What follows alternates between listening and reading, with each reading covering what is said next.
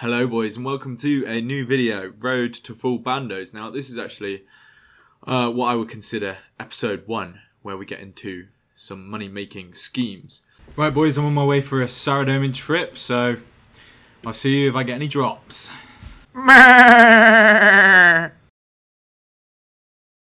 Right, I'm going to provide you some more context for this Bandos trip. So, my two in real life friends, um, Chewy and Thirsty Box, you know, we've all hit 100 combat, so we want to go to Bandos. My clanmate came, Big Ninja, the guy who I um, borrowed the stuff off, and we went to Bandos. And I'm, we've never, all of us have never seen a drop. Like I've never seen any drop yet.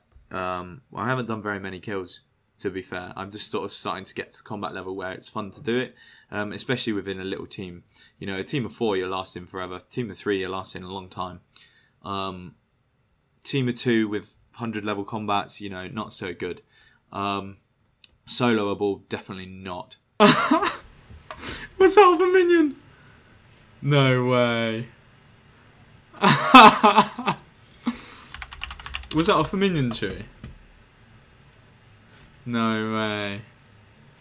That's crazy. Oh my god.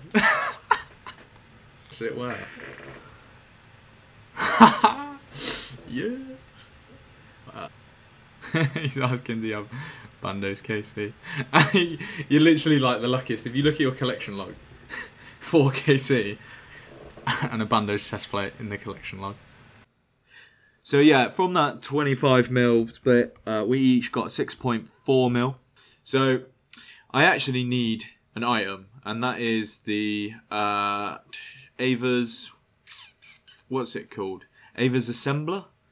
Um, and it requires the Vorkath head um, to use it, and you go and see Ava to get it. So that is sort of the item I want, and I'm going for this video. And I thought, uh, you know what, Vorkath is pretty decent money, um, and I've never really done it before, so why not? Now, to get the Vorkath head, you have to either get it as a as a red drop, um, which it is, I think. Let's have a little look.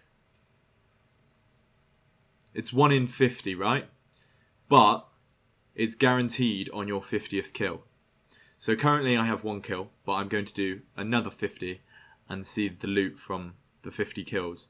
Plus, at kill sort of 50th, I would have uh, I would get the Vorkath head, which then I can create the Ava's assembler, which gives increased stats and improved ammo return, and it's kind of like best in slot and use the accumulator everywhere. So I thought, you know what? Why not? Let's let's get this upgraded. Let's let's move on to some better range gear. So my setup is pretty beastly, to be fair. Um, I'm using Saradomin crossbow. I'm using full Armadyl armor. Now this was loaned to me by one of my pals, um, Big Ninja, and um, that's very kind of him. But I I would be able to do Vorkath without this sick range gear. Um, but it would just be a lot slower, and because I have access to it, I might as well use it. Um, it just saves me a bit of time, makes me a little bit more money per hour. So yeah, that's basically the setup for this video. Um, apart from that, later on in the video, you'll see some mad stuff at Bandos. Um, I've just got one clip, but I caught my live reaction, so look forward to that. But yeah, anyway, these kills, you know, they're kind of easy. I, I did actually die quite a lot of times. I think in the 50 kills, I died about seven or eight times, um, which is pretty terrible. But it, some of them were from like little lag spikes when he throws the fireball up and, and it sort of instantly KOs you. Um, and the others were just um, when I don't do the Woox walk or do the walking thing correctly, or if I try and go for a sneaky hit while I'm doing that and, and take some hits, but then I fuck up and then I get hit multiple 30s and then I die. And it's 100k every time, so essentially I've wasted about 7 or 800k um, during this sort of little grind.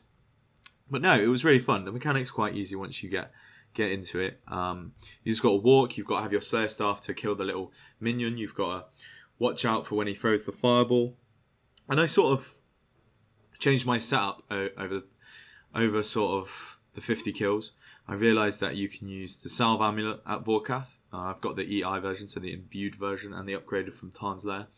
And that provides, you know, 20 plus, 20% um, damage boost or something like that. So, yeah, alongside Party, alongside that, uh, I was doing some pretty sweet damage. And um, I what I didn't realize um, until a lot later on, I was using Dragon Diamond Bolt E's. Now these are pretty good. They get you, you know, fairly consistent kills around the three and a half to four minute mark. But then I realised, you know what, can't you use ruby bolts? Um, so I got those, and then about 35% health, I switched back to the diamond bolts E.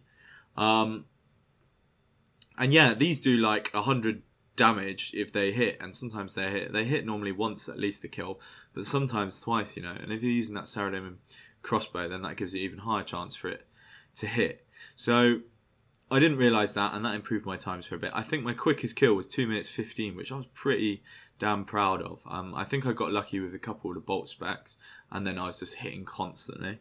Um, but two minute fifteen kill, God, was unheard of for you know eighty nine range, nowhere near max. Um, but yeah, uh, the, the, average kill was probably between three and a half and four minutes, if I'll be honest. So fairly slow, but this is my sort of first proper proper bossing experience where I'm been introduced to the new mechanics that Jagex has like sort of put into the game. Um, they're really going for some crazy mechanics with the like the new raids and stuff. Um, and I look forward to you know all this new content, and I look forward to learning it because um, yeah, no, it's quite a skill. You have to be quite a gamer, um, in my mind, to be honest.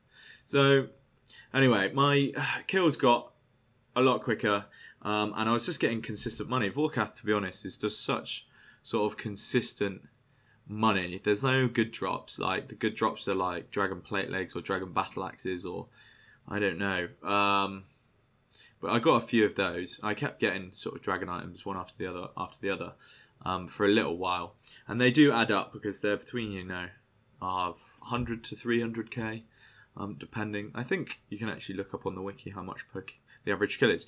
Yeah, the average kill is worth 131k. Um, that's pretty good. But as I said, like the chance you're going to get one of the big drops is so rare.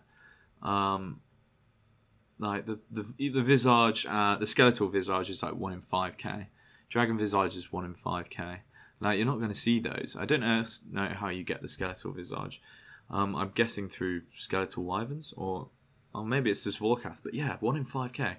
That's why it's like fairly expensive, I guess, because because it's so rare.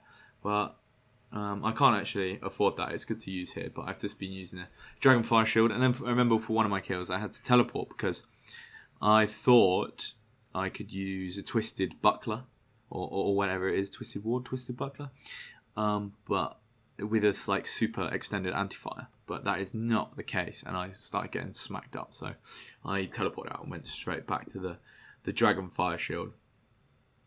But no, as I was saying, no big drops, just nice, consistent money making. Um, and, and that's what we like for this series, you know. And and to be honest, it was it was it was a it was a good grind. Like it, it didn't take too long, and, and, I made quite a bit of money. So if I look at, at all the loot in the loot tab, we're talking about so for my 50 kills, 6.37 mil you know, four dragon plate legs, three dragon battle axes, load of battle stars. That's one of the good drops. Load of death runes, load of rune kite shields, an onyx bolt drop. Well, I think I've got two of them. Uh, a decent amount of cash, loads of d hides. Um, so yeah, I got some manta rays back, so I was scanning those. Um, you basically use like, well, me, I was using like between half an invent and most of an invent. And as I got later on, I, I had some kills where I used less, and I did some two kill trips actually which was pretty cool. Um, but yeah, I definitely think there's some gear upgrades. But obviously, this stuff's on loan. So it, once I go back down to my gear, which is sort of full, full Guthix D'hide, Dragon Crossbow, um, stuff like that, then, then you know we'd be definitely struggling, getting a lot slower kills, a lot of money per hour. But yeah, total loot. 6.37 mil from this little grind. Also, the Ava's accumulator. I will be build. I will be um, combining that next video, um, and I will be using it at some um, new bosses, which I hope you guys would like. collection log slot. Oh yeah, Completed. collection log slot. Ah, uh, Vorkath had absolutely obtained like a beast, made some cash. Woohoo! This episode, we have made 12.8 million GP towards the Bando set. Now I will be going probably for Bandos Tassets first, just because that's the classic. They look cooler. Um, but yeah, I can't believe it. We're like already halfway there, and this is the first episode, boys. So thanks so much for watching. Um, make sure you tune in for the next episode. Um, it will be coming out soon. I- I'm very much looking forward to it. Peace and love, boys. See you later. Subscribe.